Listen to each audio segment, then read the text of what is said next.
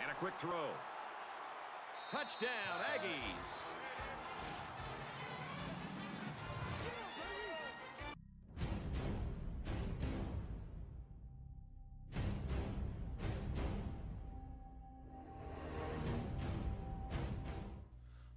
Everybody, Coach Big Ian here, and today I wanted to tell you about a passing concept that I've been running on my NCAA 2014 Twitch streams.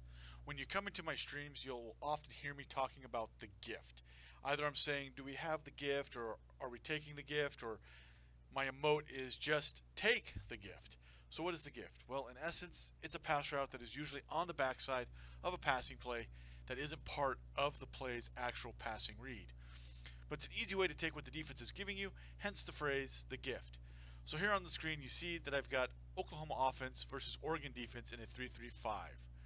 We're running shotgun spread Y stick. Howard, on the right, is running the alert route, meaning we are only going to throw it if we get a zero high safety look or the single safety is far enough away to make the pass viable. The actual stick route is being run by Stogner with Brooks on the swing. In stick, the first read is the defender over Stogner. If he steps up, We'll hit the stick route. If not, we work the swing. The second read in this play is actually Hazelwood on the left. If that isn't open, then we're supposed to run. On the backside, you actually see that Rambo has what I call essentially a whip route.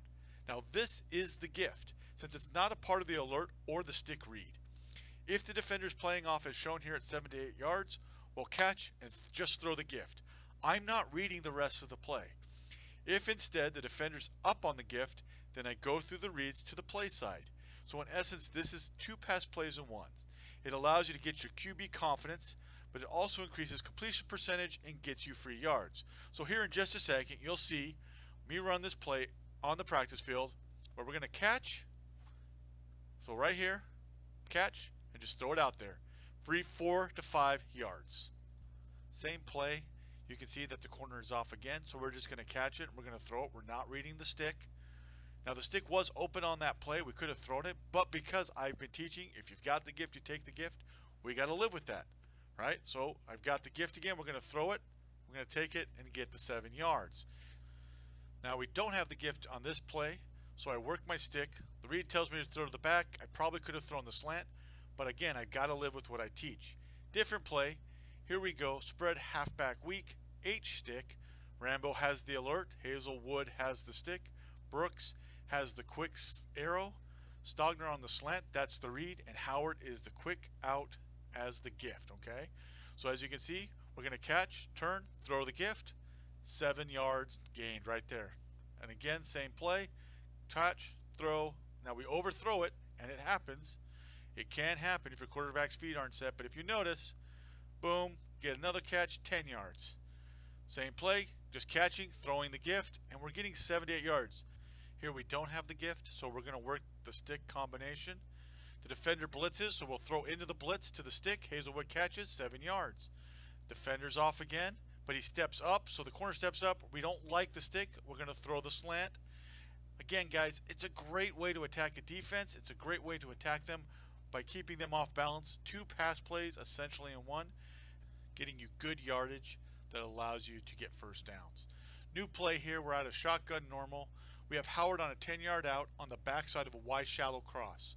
Stogner's running the shallow route, Hazelwood's running the 10 yard dig, and Rambo has the post with Brooks on the check down. Read is a defender over Hazelwood If he vacates or blitzes, we're going to go ahead and throw that. If it's a zone look, we'll throw the Hazelwood. Uh, check down is Brooks or run. Rambo is the alert. And again, Howard is the 10 yard out. We don't have the gift. So we're going to throw the shallow route. We only get two to three yards, but that's not too shabby. Here we are again with it. 10 yard out. They're off. Do we have the gift? Yes, we do. We're going to catch, throw the ball quickly. And the, as NCAA happens, they miss touchdown. Same play. Don't have the gift. We're going to throw the shallow route. Yeah, we may not get a ton of yards, but a good four to five yard gain, especially if you're running it on first down. It's a great way to get free yards. Boom. As you can see there, we're still getting it. Now, here we go. I don't like the gift there, and you'll see why in just a second, okay? I go to the instant replay, and I'm going to walk you through it. As we run the route, notice the safety comes down. I get a little nervous that that safety is going to try to undercut my route. Normally when I run this play, I want the quick out uh, to be the shortest throw for me. So I generally run this these plays when I'm on the hash and have that out uh, going uh, to the short side. So it's an easier throw. As you can see, we run it again. Notice that the backer kind of started to drop underneath. That is the one danger when you run this play you've got to be aware of if you're going to throw the gift that the backer can drop underneath. However, if it can be a shorter throw for your quarterback, less chance for the backer to undercut. So again, taking a look, we're going to throw this right out, catch, throw it out, boom, cat, 20 yard gain. It's that simple. This is the gift concept. This is something, like I said, I run every stream seven to eight times. And this is why I'm sharing it because I really want to help people out in terms of learning how to pass the ball and take advantage of what the defense is giving you. So here you can kind of see the safety come down. It's a very risky throw, but we still complete it. It's why I run this play when I'm on the hash and I want to throw the gift. Shorter throw for the quarterback, a lot harder for that safety to potentially make and undercut that. So here we have a new play. We're out of trips formation, halfback weak. We're running levels. We have Howard on the 10 yard out. This is actually the gift. To the right, with our three receivers, is actually the read for the levels play. Hazelwood clears. We've got the underneath routes by Stogner and Rambo that are coming through. So you'll see here, we have the defender off. Again, if I'm on the hash, this is what I'm running, and I'm throwing this to Howard. Boom, catch. And even if I go out of bounds, look at that. It's a great way to run this at the end of the half to also preserve the clock and take advantage of what the defense is giving you and keeping them off balance. So you can kind of see your catch. Again, 10, 9 to 10 yards. Don't have the gift, we'll just throw it into Stogner underneath. Here we go under center with ace slot. We have Howard on the gift on the right. Brooks has a check down. Stogner has the shallow with Hazelwood on the deeper post slant type route. The read is to the left, okay? The defender over Hazelwood. Rambo has the alert. We don't have the gift. We don't have the shallow, so we're going to hit Hazelwood. Here it looks like we have the gift. Now remember I've mentioned watch for a backer or the corner sitting to cut underneath. There you see a perfect example of it. Decide to leave it in just to give that example. Here we have the gift. No one's dropping underneath. We're going to hit it, score a touchdown. It's very important that if you're going to add the gift concept and you're looking to decide which plays to add, that the gift is on the back side of the play where you would normally be reading. So here, we're reading to the left, back side is to the right, okay? So it's just not, hey, let's go add double outs when we add a play because we've got outs to both sides because the read is actually the out route. It's not supposed to be a part of the read of the play. It's just supposed to be there in case as a backside gift if the defense is going to give it to you. All right. Here we go. New formation, I formation, left hash. I formation normal, excuse me, mid attack. Rambo's route is the gift because it's on the backside.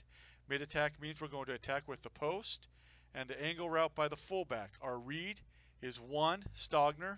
Two is the check down to the angle, run. All right.